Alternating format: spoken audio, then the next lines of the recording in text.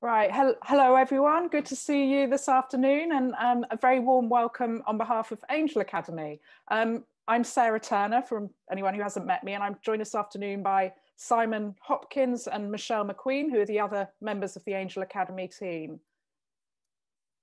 Um, we've been running Investor Academe for six years as, a, as an in-person workshop, but in a, a COVID inspired pivot, um, one of many, we're now running it online for both investors and founders.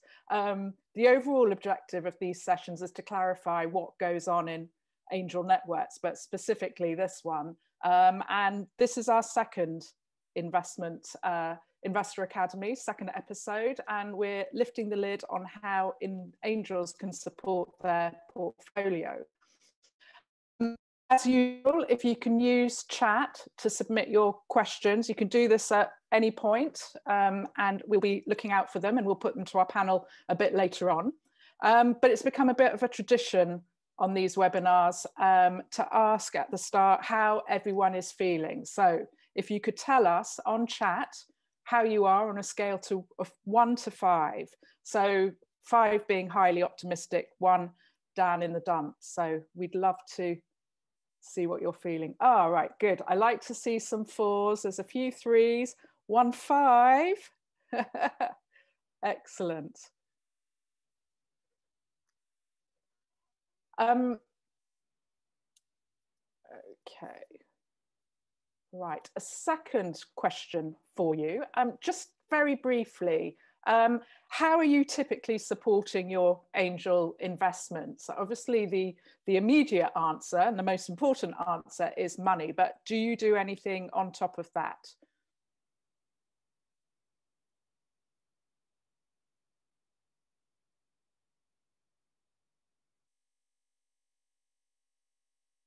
So we've had a few yeses. I do realise I've posed that as a closed question, but um, yes. So what what very briefly do you on do on top? This is not any formal research. It's just really useful to get a bit of a quick quick poll. Great. So some people have said advisory board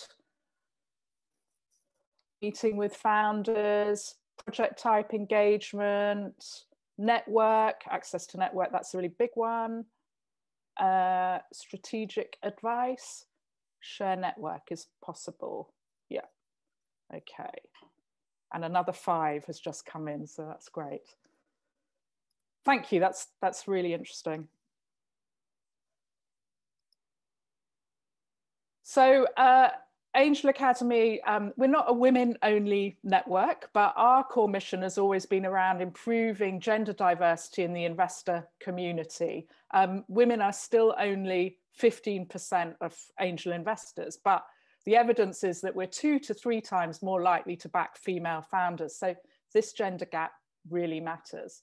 Um, and um, very frustratingly, I think um, angel investing is actually far more accessible and fun than most women think if they've even heard about it.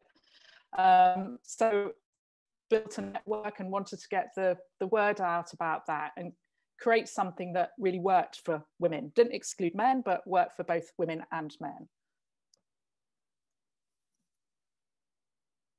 So we've invested in 33 businesses so far. All are female founded and all are in tech.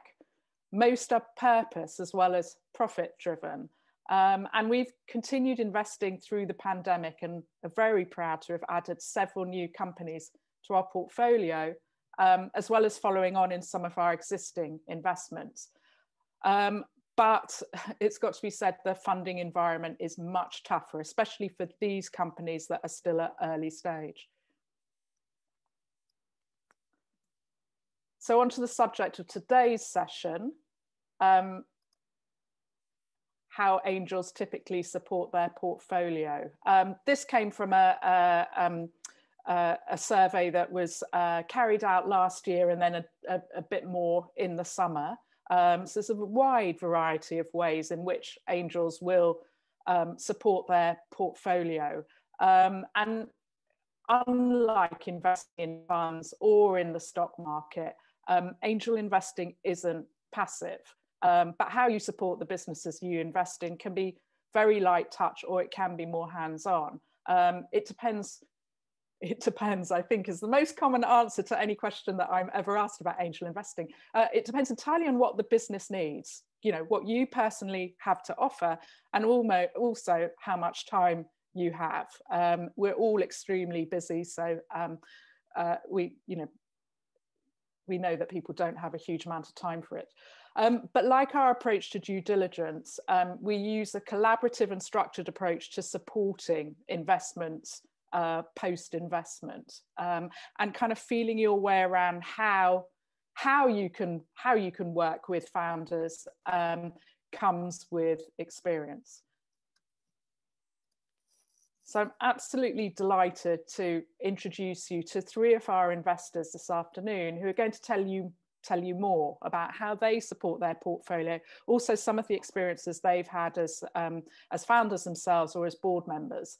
Um, I've asked each of them to introduce themselves and then talk for five minutes. So we're going to kick off with Maya. If you'd like to turn your camera and mic on, Maya, um, please take it away. Hi, everybody. I'm Maya Kuzalti. Um, I've been investing with Angel Academe for, I think, close to two years now. Um, and I um, have had a varied career, started with data and fintech, um, then left that to start my own company, which was um, in the experience industry. And then went flip side and went and worked with an investment manager who then invested in startups. So now I'm actually the chief of staff at one of the startups I advised OMI, um, which is quite exciting in a completely new sector. Um, so I guess I, am going to speak to you kind of wearing two different hats. So the first few points I put up here is with my investor hat on. I know we hear this a lot, but being a trusted sounding board for the founder is a really important part of being an angel investor. Being a single founder in particular, I can say from experience, can be very lonely. Um, and they need trusted advisors who can listen without judgment and, and provide sound advice. So that's a really, really crucial way that you can be supportive as an investor. Um, personally, I try to meet with um, the founder, particularly single founders, um, for some of my smaller investments once a year for a coffee, just to be available to, to listen for whatever they want to talk about. Um, in terms of valuation, I mean, again, you've heard this before, valuation is an art, not a science, particularly when you have a very tiny company with not many KPIs, not much traction it, it's really difficult to actually pinpoint a number. And I, I noticed being part of due diligence teams, it, it can be very easy to focus on valuation because it feels tangible. However, as a founder, you're upskilling like crazy and, and you're trying to learn all these things. So um, sometimes it's more important to understand the way the founder thinks rather than the actual number that they land upon. And the third point is again, one that's probably obvious, but it, it's about being a customer. And if you can't be a customer, be an advocate. So for me, I've invested in Tech Will Save Us. So everybody at Christmas and birthday parties gets Tech Will Save Us gifts. Um, for Nicks and Cakes, it's always when we could have cocktail parties, it's always one of the options. Um, and uh, Forte Medical, I haven't quite figured out how to be an advocate yet, but you know, I, I let all my pregnant friends know about it. Um, so now flipping sides kind of as, as being a founder, um, an area that I've definitely learned are critically important, especially when you're a small team, is really around culture and fit. And I'm going to combine these last two points and, and values. Um, now being on the startup side of where we're starting to build out the team, this idea of you know skills can be taught, but values need to be inherent. And if you really want a successful team as you're building a company, you need to make sure that the culture is right. Um, more and more nowadays, as we're building the team um, at OMI, where I'm currently at, we're finding that actually we're having much more success when we interview candidates based on values. We also find um, kind of the, the new generation of the workforce is very much focused on the, right culture fit and are focused more about the missions, the values, and the culture is more important to them than the actual money.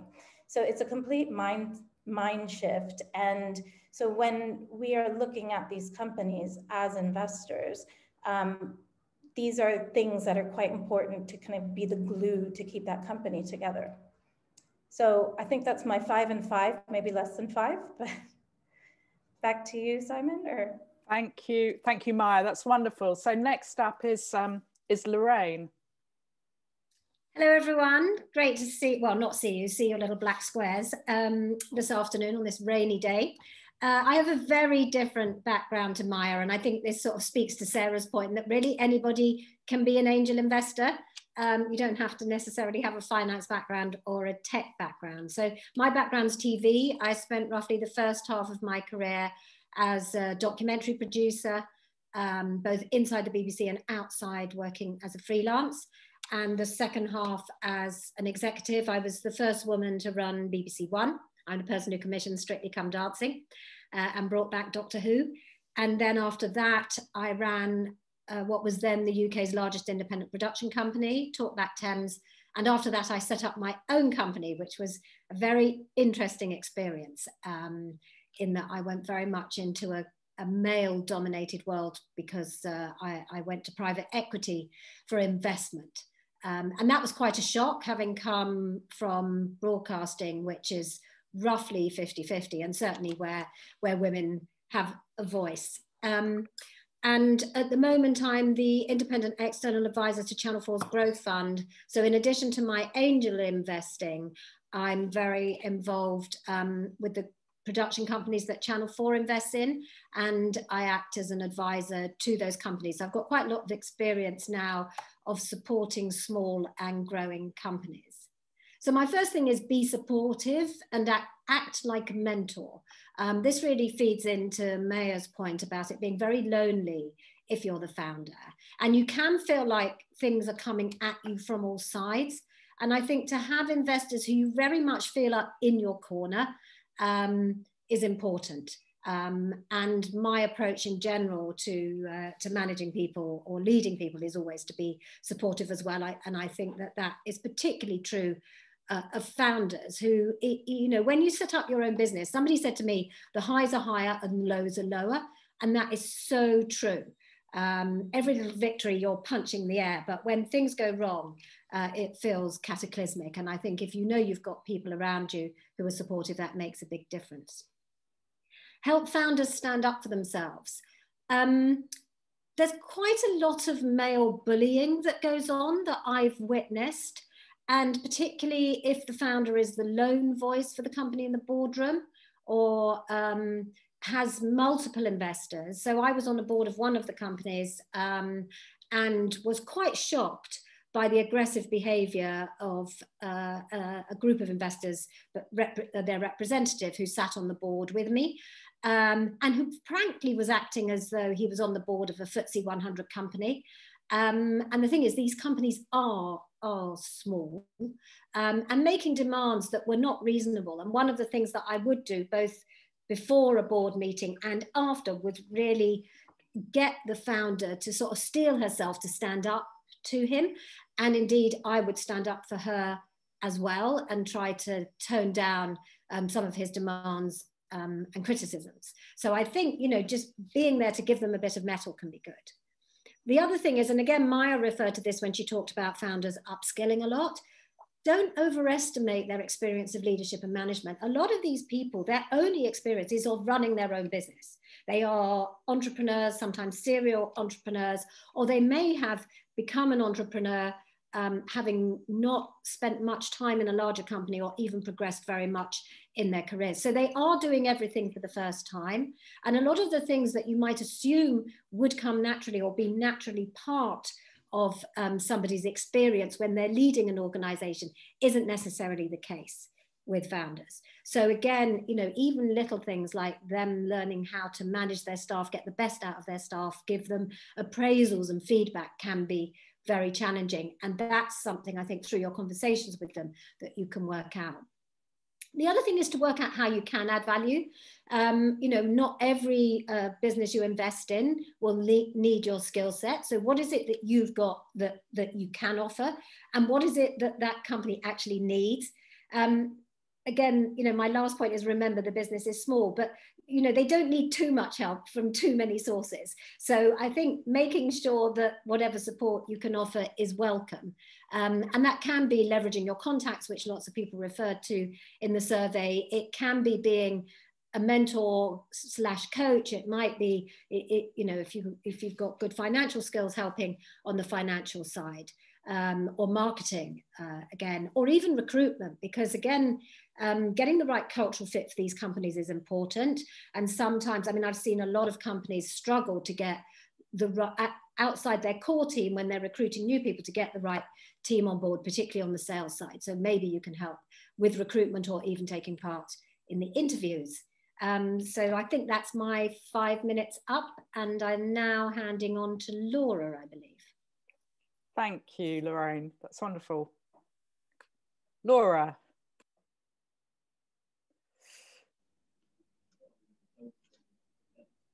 There you go. Is that working? Hello. Can you hear me?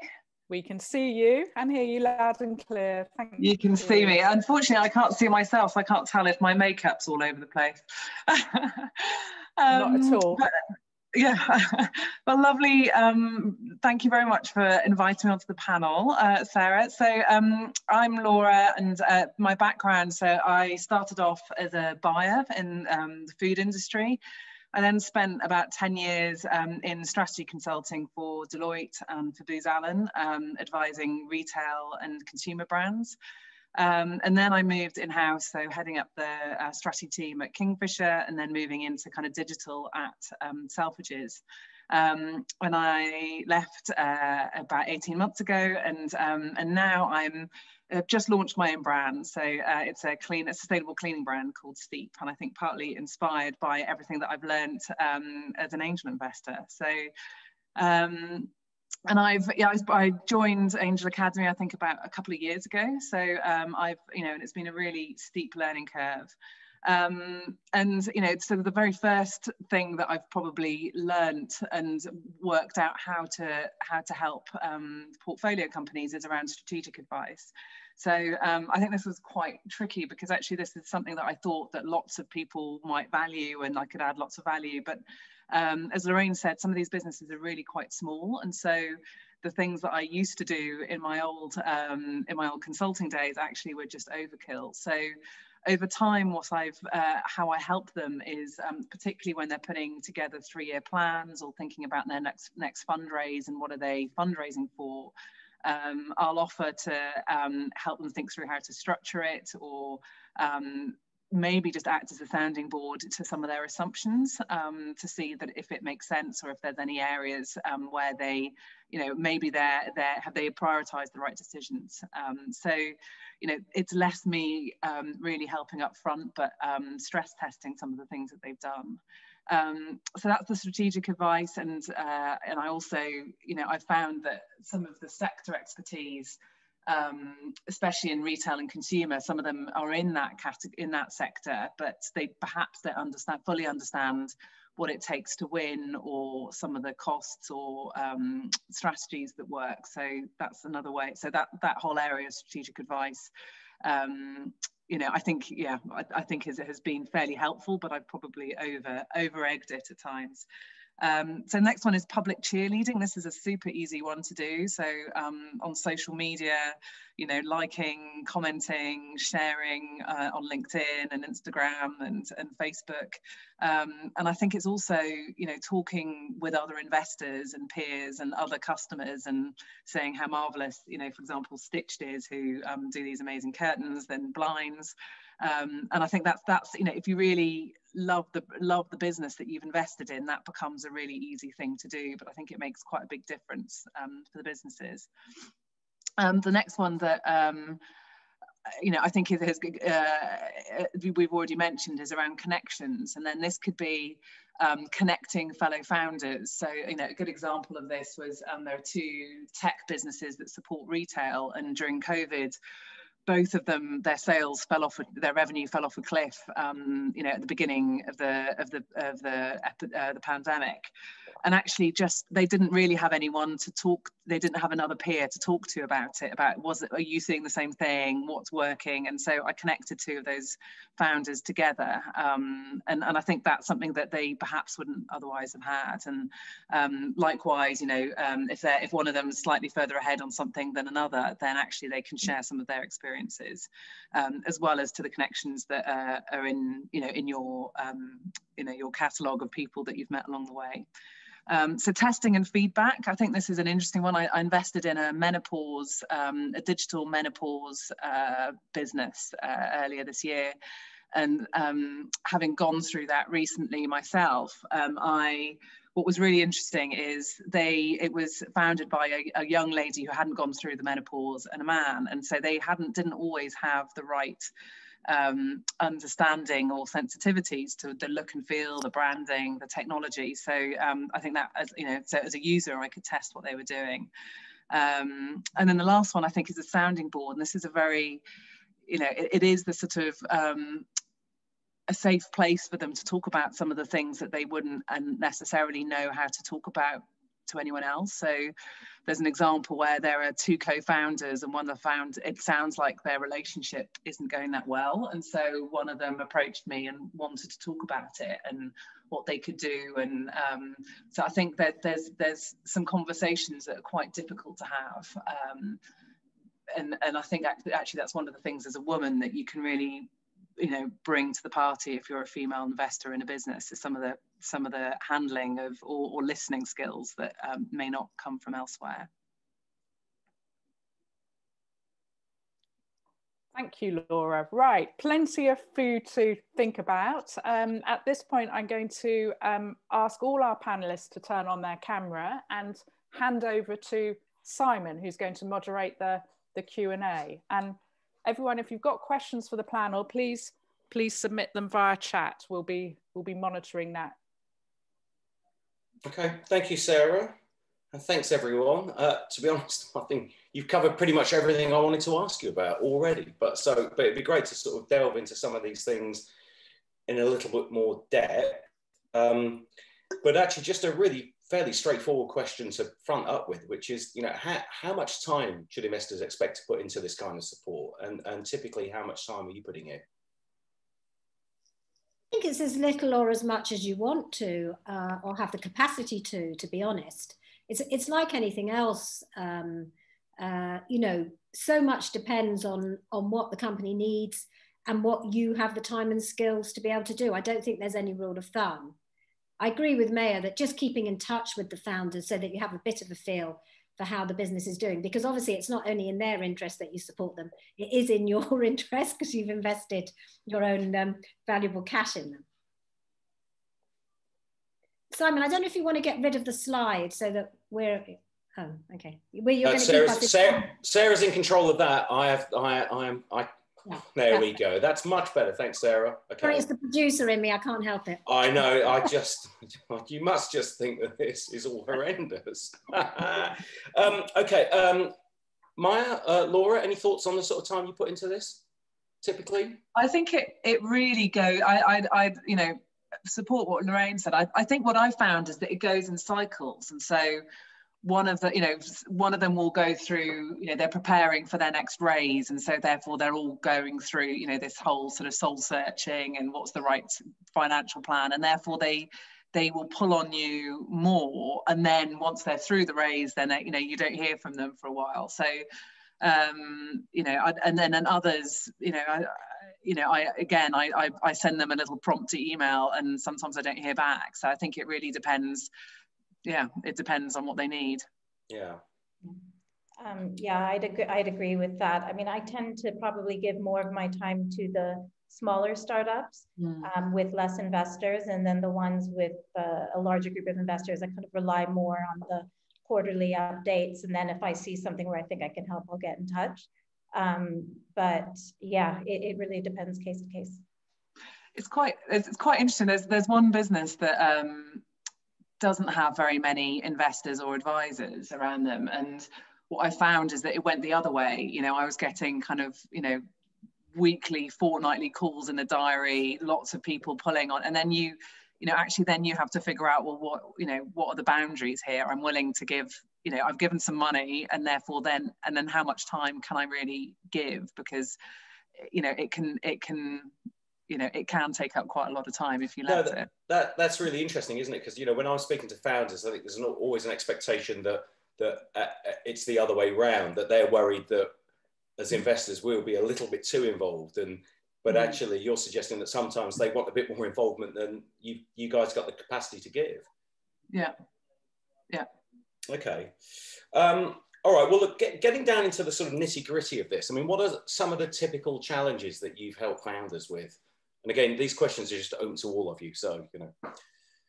um, so in my case, because my background's in data, a lot of the time it has to do with analytics or software related um, things of that nature. So it's very much sector expertise that I've helped them out with or kind of connecting them to people. I think I often get involved in some of, if you like, the softer issues. Um, there was one case, uh, a company I was actually supporting uh, for Channel 4, um, and after they'd taken on investment, A, that was such a different thing for them to suddenly have an external investor, but also all sorts of issues arose between the founders. It was almost like being a marriage guidance counselor. Um, and I managed to steer them through it and they came through it and, you know, as a much more solid unit, in fact, um, which was definitely in the interest of the company. Um, so I think, you know, sometimes if you're not the person who goes in to talk about money, they will confide in you in all sorts of other things that they don't like to admit to the people who are talking about the money and looking at the numbers. Um, and those can be around people issues, and those people issues can be quite devastating for the company if they're not sorted out. Yeah, I love the idea that they're softer issues than tech. Well, I that, that, no, I know what you mean, but it's um, Laura. Any thoughts from yeah. you on the sort of stuff that you where you roll your yeah, sleeves I, up? What? I think some of the things actually are um, are when they when they've got a hunch or they want to do. So there's a really a good example where they've got the branding agency to do their whole look and tone of voice and brand and photography, and they just weren't loving it. And they were like, and they but they hadn't didn't have the experience to know is this are we just not getting it or is this a bit of a crappy job and how should we deal with this new this agency now and so you know having that kind of second opinion, but then some guidance about actually these are really the practical steps. Go back to them. You know, uh, I think you know that it was reassuring them that they were thinking along the right lines, mm. um, but also giving them some really practical next steps to do. Okay, great. Well, uh, you started actually, Lorraine. You were getting into something I wanted to ask specifically about. So let let let's go there. Um, disagreements and clashes between co-founders. Now, obviously, you know, we all like it to be harmonious between co-founders. I know I do, but you know, it isn't always. So, what? How, how do you? How do any of you deal with that?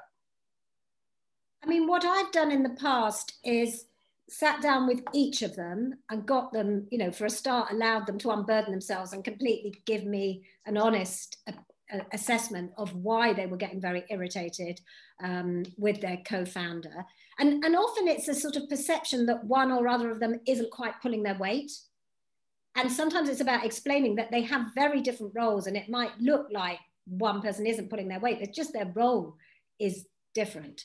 Um, so getting each of them to unburden themselves to you, and then, as I say, a bit like marriage guidance, all sitting around a table and trying to work through those issues together. And sometimes just saying it seems to help resolve it because what tends to happen is that people bottle it up. And by the time they address it, they are absolutely its exploding point. So when they do address it, it comes out as much more ferocious than they ever intended it to.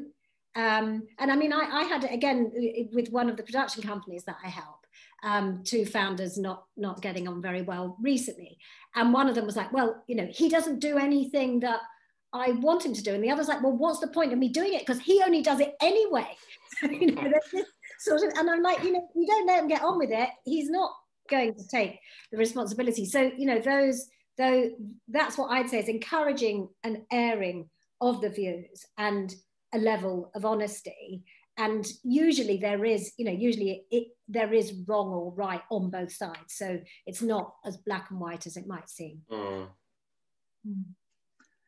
you other guys have got any thoughts on the founder clashes? I love the idea of I, marriage guidance because sometimes it's that as well but I haven't I haven't dealt with a kind of full on founder clash, but it's the kind of you know sometimes I think it you know, I've seen quite a lot of the bubbling, niggling, oh my God, it's really annoying. And I think there's a, an example at the moment where um, two founders and they're just having, you know, they're, they're disagreeing on, you know, how much money to raise, what are the priorities, what should, you know, is the money on revenue or is it money on, you know, building to scale and so therefore not immediately, obviously, revenue. And, you know, it, both of them had got to sort of a really quite, you know, they were both entrenched in their views um, and and actually what we did you know what I ended up doing was going look well actually let's let's make a, create a sort of set of really objective ways of us evaluating what's most important. So let's take the emotion out of it and let's look at the facts that will then help you realize what's the right thing for the business. Uh, and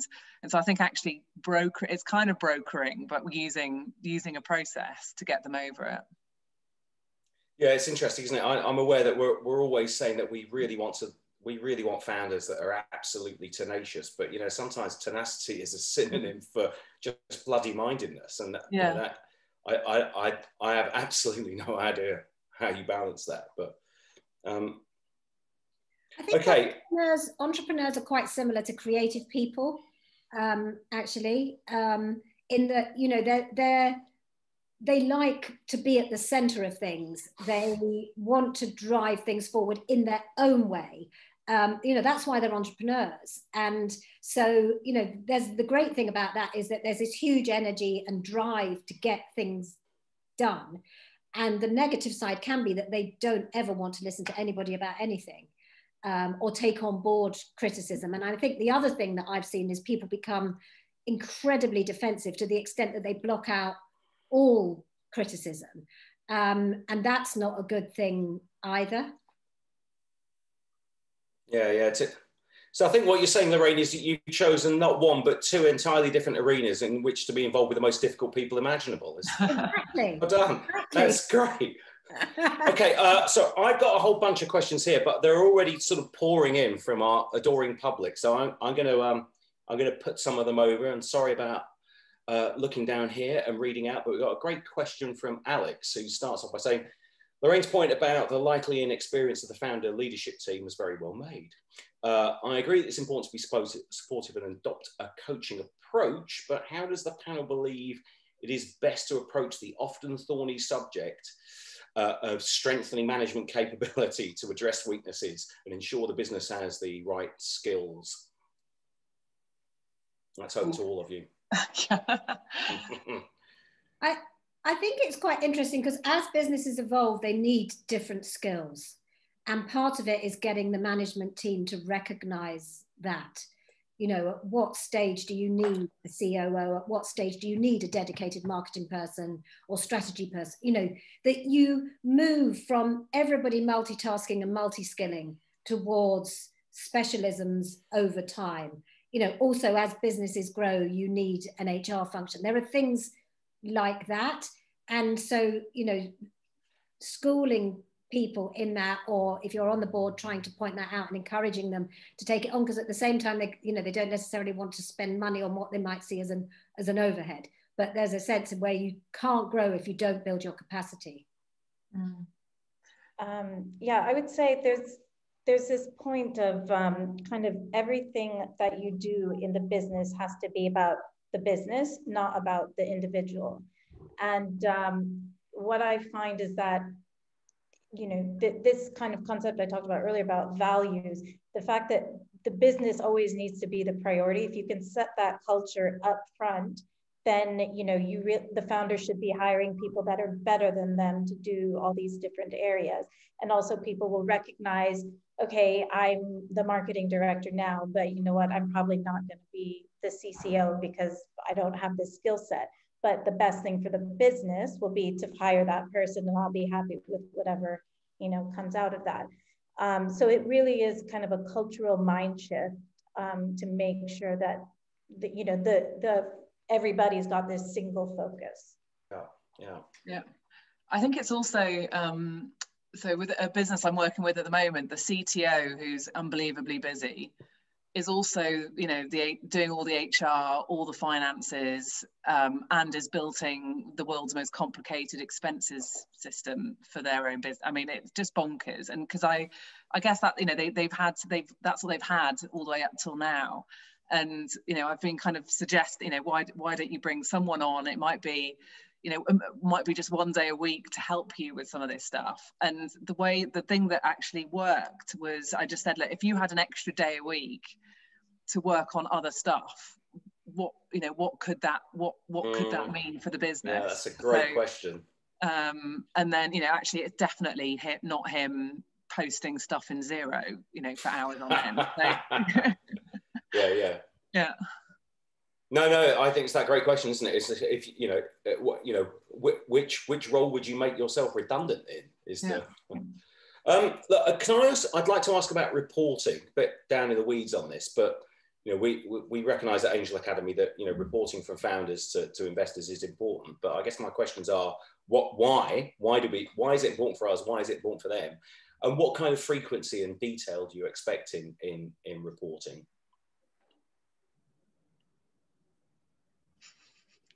Oh, I clearly that was a really boring question, wasn't it? I, that's like it's my, it's my best question. Somebody else go first. yeah, I, so I mean, I, ideally, what I really love is having a really short, sharp monthly update. It doesn't have to have loads of stats and tons of slides, but I just want to know: are there any wins? What are they worried about? And a few of the businesses, I do that really well. You can tell that they haven't spent hours preparing it, but it just means I know what's going on. And um, a couple of them are just really good at just saying, look, this is the help we need. Does anyone have X that they can do for us? Um, I think it's you know some of the accelerators train them to do that, and you can tell that those are the ones that, yeah, yeah. do it really well. Um, and then and so I'd say that that I'd prefer that than once every six months a massive great big PowerPoint with loads of charts that actually you know it's, it's taken a lot of time, but you you you know you've lost contact with them. You don't quite know what's going on. So yeah. I mean that that would be my personal preference. Um, I'd say uh, please don't ever send attachments. They it will not get read. yeah. So um, yeah, just I would say probably for me quarterly because uh, it's hard to demonstrate a lot of traction. At least that will keep my attention every month. So kind of quarterly touch points. I like things in threes. So kind of three highlights, three KPIs, three things that you need to work on, you know, areas of improvement. And then very importantly, like anything that you need from us, any help, etc. Because it's hard to know how to help them if they don't ask and they don't tell you. Yeah, yeah, yeah. Yeah, I agree. Brevity and clarity. Uh, and I agree quarterly is, is enough. Um, and I love Maya's honesty, no attachments, because we're all so busy. Um, but the, you know, the other thing is that there was one company that I invested in, and they kept saying we're ahead of our KPI, or you know, they always seem to be doing better. I was like, well, what was your KPI? I don't even know what your KPI was. how do I know whether you're ahead of it or not? So, you know, I think sort of being a bit, being transparent is quite important. So I'm, I'm aware that as well as mostly investors that are on the on the call, we, have got some founders as well. So why do you what are, what are the benefits to doing these kind of reports for founders? I think it helps them focus uh, on on their business, which is again why I think they shouldn't be too long. You know, we've all been in companies where the finance report. I, I mean, even when I was at the BBC, I remember uh, Greg asking the FD, you know, where what was the important page, and he said, well, page five. He said, well, why don't we just have page five. in the end, there are relatively few numbers that are important, and most of them can be shown on one page. So, you know, that thing of, of, of clarity of thought and clarity of focus is what will help the founder or CEO when they're compiling that report to just think, actually, how have we done this quarter? What did we slip on? What do we need? You know, it's those sorts of questions. Yeah, so actually accountability works two ways then. It's actually, it, the, the, accountability is useful to the founder, you think? Yeah. I think it's also quite helpful to pull them out of the weeds. They're either very much in the detail or doing very high level pitches. So it kind of keeps that 30,000 foot view and keeping them honest about what the traction is. Yeah. No, that's interesting. Yeah. And they have to do it for the board anyway. So I think the thing is, you know, they shouldn't make work for themselves. Do one set that's suitable for ev everybody. Um, and that again, you know, I think investors need to be cognizant of this, especially where there are multiple investors. I mean, Angel Academe counts as one investor, so it's not like all of us want different things. But if you're on alongside other investors, they might want different things. And I think there has to be some standardization because again, these are small businesses, and you don't want them groaning under the weight of reporting um, expectations. You know, they've got more important things to focus on. And as long as we're getting the key numbers and we can see, are they ahead? Are they behind? That really is about it. Well, yeah, no, that's that's really interesting, and it touches on something I did want to ask about, which is, and not necessarily specifically with regard to reporting, but is that, um, but more about the general relationship with founders. Is quite a lot of our investments will involve at this stage quite a lot of individual investors, and you know some of those will be quite hands off, but not all. And I just wonder if there are sort of any what are some of the issues that arise from. Um, I, I, see Laura's ordering a gin and tonic. I think there was that. That's good. It's my. It's my. Bring uh, me a drink, boy. Laptop's about to run out of battery. Oh, so yeah. um, no, no. Just so you know, where there's um, a lot of investors involved, you know, what what what are the issues that arise there in terms of the you know the relationship that you guys got with companies? Well, as I mentioned, I mean, I, I've sometimes found them bullying um, and unreasonable, um, the others, uh, uh, other investors. Uh, and that's quite tricky because, you know, I can remember on one of them, I actually said to Sarah, you know, this person is asking this, this, and this. And, and Sarah said to me, they're a smaller investor than us. So it's like, well, if we're not oh, asking yeah. they said, you know, but the way this person behaved, I thought, you know, they must have put him gazillions or something. Mm. So I think there is that thing about it, it's got to be proportionate um, and it's got to be reasonable. Um, and you know, it may be sometimes we would have to explain to other investors we don't we don't think that that their approach is productive or constructive for the company. Yeah, that's interesting. I'm guessing that often those people are men as well, but you know, I just I'm just going to put that out there as a poss- um, possibility. um, in case they were, but I'm I'm sure it could go the other way. I mean, I saw, sure.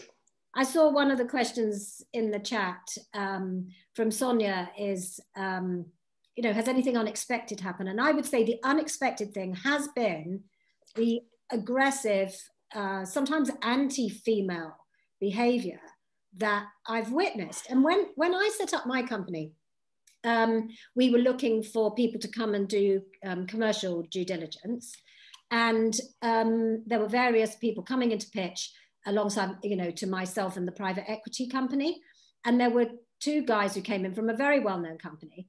And not once during the presentation did they look at me. They only looked at the private equity guys. Mm. And when, when they left the room, the private equity guys said to me, Oh, I thought they were really good. And I said, I thought they were terrible. Did you notice they didn't look at me once? And I am the founder, you know, it's kind of like my business. And, you know, just be earlier when Maya and I were on the call and we were talking to Sarah about a, a, a company that, that Sarah's uh, been looking at. And one of the investors had actually said at a board meeting to the woman, the founder, could you leave your ovaries at home? I mean, unbelievable. It is unbelievable. And you, you know, you and, and when you say it, it to me, that is unexpected to hear that level. It, it must be, you know, like having somebody be racist to your face. I mean, it is like somebody being racist to your face. Um, that you wouldn't expect that kind of behavior, and certainly not at a board meeting. But the world of investment has been very macho, is very macho. Most of the advisors are male again, when I go back to when I set up my own company, you know, when we were, were doing the first big deal, there would be about 20 people in the room. There would be me, maybe a junior woman in the finance team, or maybe a tax expert, and maybe one person in the legal team who would be a woman out of 20 people. It was quite surprising to me. And we are backing, through Angel Academe, we're backing female led companies, and they are coming up against this. And again, tech is very male dominated. Um, and you know they can some of them be a bit on the spectrum to, to be very um, politically correct but you know what i mean they're not necessarily got emotional intelligence and they don't pick up on things. And that is what i find shocking or or hard to help founders deal with because they've got to navigate their way through all this. Mm. and still come out smiling and still be positive about their business. Yeah. I feel that, excuse me, I now need to sort of play a abasement role for the, the whole of my gender. I do apologise, really. But... All the men who are in Angel Academe are, by definition, okay. We hope so. We try to be. We're just doing our best. Just doing our best. We wouldn't, we wouldn't let them in, would we, Sarah? um, sorry, um, Maya, Laura, did you want to add anything to that? Yeah, for my, I haven't, you know, I my dealings with um, businesses with the founders tends to be one-on-one. So you know there's one or two instances that i've been in kind of board meetings but it tends to be a relationship i have just with them. And so um, and i haven't come across that many of them that have been pushed around that much by other uh, by other investors. So it's yeah it's not something you know I'm not sure how I deal with it, with it, with dealing with any of the stuff that I've heard from Lorraine, but I, ha I haven't come across it. No, well, glad to hear it. It's like, yeah, luckily, yeah. can Can I ask you um, about uh, balancing? You know, I think it was you, Laura, used the phrase cheerleading. Uh, you know, balancing the cheerleading, but with being uh, I, I, think the the de rigueur phrase is uh, uh, a, a, critical friend, but you know when you need to have a bit of a word, yeah. Um, I guess my, so my background was being a, a, a, strategy consultant. I mean, that's what consultants are paid to be critical, uh, basically. You know, you always have to point out what's wrong. And so I think what I learned over the last two years is that's not really, you know, you just, that's not the way to build them up and to help, actually. So I think you very much have to start from the cheerleading. And then once you've built up some sort of rapport, you can then be the critical friend, but always in a much more positive way than I would have been had I been doing a piece of consulting work for somebody. So I think mm. it's, um, you know, and I and, and so I, I I've now become a lot more positive than I probably than than negative, you know, critical. I think um, over time, it just works better, right? Does it make you feel ha- Does it make you feel happier? Does it make make me feel happier? Yeah you feel you bring positivity into the world now. Oh my god! It's so you know, it's it's really I, th- I think so, and it's just you know these these you know we've invested in these business because the founders are amazing. You know mm. we they we put them through their paces you know they're building these incredible businesses and probably they're getting lots of they're already being probably fairly critical on themselves and so actually someone going look you're doing a really good job these are amazing you know i've seen this bit i think that might be you know there are some there's some more um, you know, I think you could push it harder, I think, you know, but what about thinking about it in this way? Or I've seen someone do this, what about it? Um, you know, and that, that's as really as far as you can go as an investor. You know, all you can do yeah. is make helpful suggestions. You don't have any other real sway, you know. So if you do it nicely, I think it might, you know, it might land better. What about what about you, Maya? Where are you on the uh, critical friend so, stroke cheerleader spectrum? So I definitely think you need to be positive, but um, somebody one time gave me some really good advice. She said, tap into your uh, parental um, instincts. You know, how would you work with your children to give them the feedback? We all know that kind of being negative with them doesn't work. So, you know, ask questions, kind of take that therapist mode of where, you know, it's like, well, do you think this worked? Why do you think that didn't work? And then lead them down a path to where actually they're answering that question and understanding where something went wrong or why they're getting the criticism, but it's their idea, but you're planting those seeds. And I, I found that that approach has actually worked really, really well um, in kind of conveying a maybe not so positive message because it makes the person reflect on what they've actually done. Okay there's me thinking parenting and just involved saying because I told you. I thought that isn't that But then they get all grumpy and don't uh, talk to you, and you don't want that. tell me about it. Okay, um, great, thank you. Uh, so, uh, yeah, valuations. We have we touched briefly on valuations, but um, I think Alex has asked this about uh, what advice would the panel give on agreeing next round valuations? I mean, I, I, I'm to be totally honest, I just think it's so hard to put a stamp on companies when they're this small. So a kind of, as long as the logic is sound from the founder and the board has signed it off, I tend to get on the train. Um, it, and if it's a down valuation, um, just need to understand exactly why that's the case. Um, but yeah, I, I guess uh, from my point of view, I just don't spend too much time on it and, and tend to kind of go with the consensus. Yeah. Lorraine, Laura, Laura, where are you on that? I, I mean, I'd say the same. I, I haven't spent huge amounts of time talking valuations with the businesses. I think I'm, again, I'm more interested in their plan and the kind of financial plan and some of the assumptions that go the way they're thinking about it rather than the, the, the amount per se. And I think one of the benefits of being part of a group like Angel Academe is that we all discuss it. And it you know it, it is as as maya said right at the beginning it is an art not a science at this stage.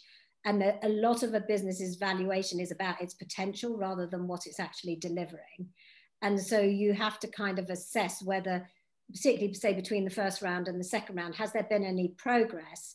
Is that progress enough to be reflected in an increased valuation or in or has it gone backward and need a, a, decrease in the in the valuation?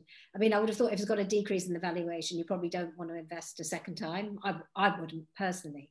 Um, but i value hearing experts and you know having a discussion around a table or, or around a zoom on whether people feel the valuation is right. And you can tell you know sometimes founders get crazy opinions of value and you can sort of tell when it's crazy and you can tell when it feels roughly in the right ballpark.